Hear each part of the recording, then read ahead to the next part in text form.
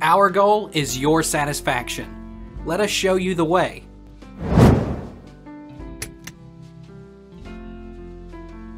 Why does Outlook not show all emails? If you find that all emails do not show in your Outlook inbox, it may be that you have the Focused Inbox feature enabled. With Focused Inbox enabled, all emails do not show in your main inbox, only those deemed to be most important by Outlook. Everything else sits under the Other tab.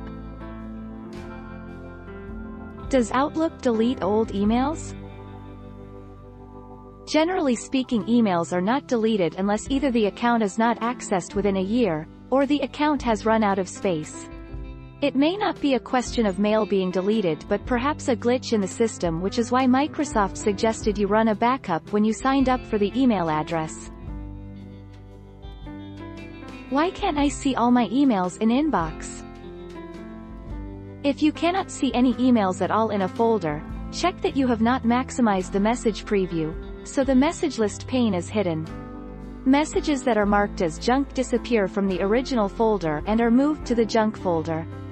Click View Show Deleted Messages to make sure all messages are visible.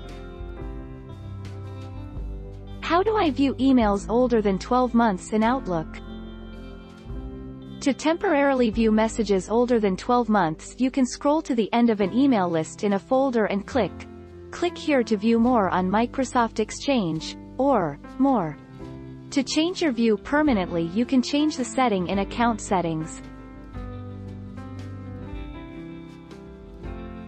Take our lead.